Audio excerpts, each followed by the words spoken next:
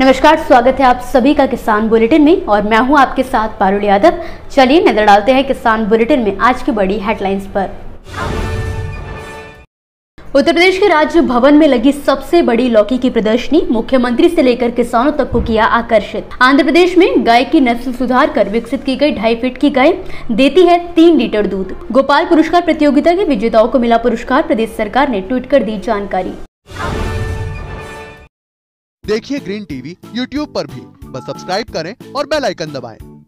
उत्तर प्रदेश के लखनऊ राज्य भवन में चार दिवसीय चौवनवी प्रादेशिक फल शाक भाजी व पुष्प प्रदर्शनी का आयोजन किया जा रहा है, जिसमें तरह तरह की फल, सब्जियों व फूलों की प्रदर्शनी किसानों द्वारा लगाई जा रही है।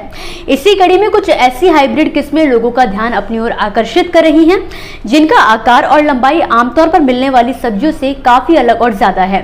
आपको बता दें कि इस प्रदर्शनी में जहाँ 500 से ज़्यादा तरह के रंग बिरंगे फूलों की किस्म का प्रदर्शन किया गया तो वहीं 200 से ज़्यादा ज़्यादा तरह की सब्जियों को यहाँ पर प्रदर्शित किया गया है। लेकिन इन सब में सबसे ज़्यादा चर्चा इस समय लौकी की हो रही है, जिसकी लंबाई करीब छह फीट है। खुद प्रदेश के मुख्यमंत्री योगी आदित्यनाथ ने भी इस लौकी की लंबाई नापी, जबकि कई किसानों ने भी प्रदर्शनी में आके इसके बारे में जानकारी ली। आचार्य नरेंद्र देव कृषि विश्वविद्यालय के प्रोफेसर शिव पूजन सिंह ने लौकी की कुल नौ किस्मों को विकसित किया है, जिनमें से नरेंद्र शिवानी का नाम भी शामिल है। इस लौकी की लंबाई चार फीट से लेकर सात फीट तक होती है। आपको बता दें शिव पूजन सिंह ने ऑक्सीटोसिन इंजेक्शन से होने वाली लौकी के फलों में एकाएक बढ़ोतरी और उत्पादन में बढ़ोतरी के दुष्प्रभाव को देखते हुए इस खास किस्म को विकसित किया है। इस लौकी को उगाने वाले किसान काफ़ी ज़्यादा उत्साहित रहते हैं, क्योंकि इसकी लंबाई के चलते इससे किसानों की आय में भी इजाफा हो रहा है। सबसे छोटी गाय के नाम से मशहूर गाय की पुंगनूर नस्ल किसानों के बीच काफ़ी लोकप्रिय रही है। इस बीच हाल ही में आंध्र प्रदेश के काकीनाडा के रहने वाले एक वैद्य ने अपनी 14 साल की मेहनत के बाद इस गाय की नस्ल में सुधार किया है, जिसके बाद अब किसान ने ढाई फीट की पुंगनूर गाय को विकसित किया है, जिसका आकार सामान्य नस्ल से भी छोटा है। दरअसल, पुंगनूर की सामान्य ऊंचाई तीन फीट से पाँच फीट के बीच होती है, जबकि मिनिएचर पुंगनूर की ऊंचाई केवल ढाई फीट तक है। जिसके चलते ही वैद्य डॉक्टर कृष्णम राजू ने इस गाय को मिनिएचर पुंगनूर का नाम दिया है। जानकारी के लिए आपको बता दें कि डॉक्टर राजू नाड़ीपति नाम से गौशाला का संचालन करते हैं। उनके मुताबिक मिनिएचर पुंगनूर को 2019 में विकसित किया गया है, जबकि पुंगनूर करीब 112 साल पुरानी किस्म है। डॉक्टर के अनुसार गाय की असल पुंगनूर नस्ल सिर्फ़ वैदिक काल में हुआ करती थी, जिसे ब्रह्मा ब्रीड कहा जाता था, मगर बदलते वक्त और जलवायु के साथ इसकी ऊंचाई बढ़ती गई और ये तीन से पाँच फीट तक जा पहुँची। एक जानकारी के मुताबिक पूरे देश में गायों की सिर्फ़ 32 नस्लें बची हैं, जबकि प्राचीन काल में 302 के आसपास नस्लें हुआ करती थी।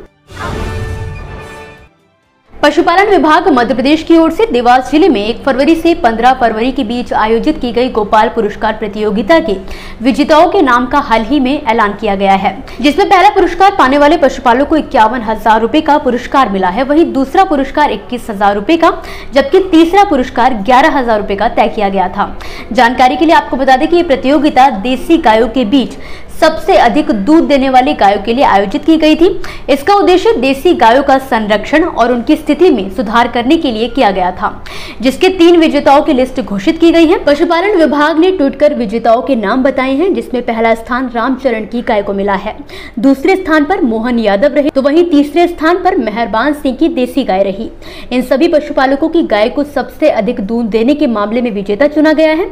आपको बता दें कि इस आयोजन में चिकित्सकों और विशेषज्ञों की निगरानी के बाद बाद स्वस्थ पशुओं को जगह दी गई थी। साथ ही इसमें ऐसी देसी गायें शामिल हुई थी जिनके कान में जीआई टैग लगा हो और इनका पोर्टल पर पंजीयन हो। दोस्तों, ये थी वो खबरें जिन्हें हमने आप तक विस्तार से पहुँचाया। लेकिन अब हम बात करेंगे कुछ ऐसी खबरों की, जिनके बारे में भी आपके पास जानकारी होना ज़रूरी है। तो चलिए फटाफट से एक नज़र डालते हैं खेती किसानी और कृषि क्षेत्र से जुड़ी आज की छोटी बड़ी अपडेट्स पर। यूपी की राज्यपाल आनंदीबेन पटेल की मौजूदगी में बीते रविवार की शाम राजभवन में फ़ैशन शो आयोजित हुआ।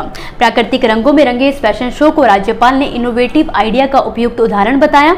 आपको बता दें कि राजभवन में आयोजित हुए इस फ़ैशन शो में फूल पत्तियों से बनी ड्रेस के अलावा लखनऊ की विश्व प्रसिद्ध चिकनकारी से बनी ड्रेस को कुदरत के रंगों में सजाकर रैंप पर पेश किया गया था।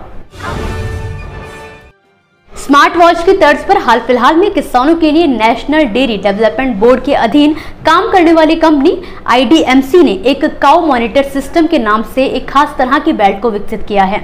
इसे गाय और भैंस दोनों के गलों में पहनाते ही शरीर के तापमान से लेकर पशु के स्टेप्स और लोकेशन की जानकारी मिलने लगती है। ये बेल्ट को उपलब्ध होने में फ़िलहाल अभी चार से पाँच महीने का समय लग सकता है। इसकी कीमत भी काफ़ी कम रखी गई है। आपको बता दें, लखनऊ में आयोजित ग्लोबल इन्वेस्टर समिट में इस बेल्ट का प्रदर्शन भी किया गया। होली के त्यौहार से पहले झारखंड के बोकारो ज़िले में बर्ड फ्लू की आहट हो चुकी है। बोकारो ज़िले में बर्ड फ्लू से कुछ दिनों में लगभग 400 से ज़्यादा मुर्गियों की मौत का मामला सामने आया है। आपको बता दें, पिछले 18 दिनों में करीब 400 मुर्गियों के मरने से बोकारो में सनसनी मच गई है।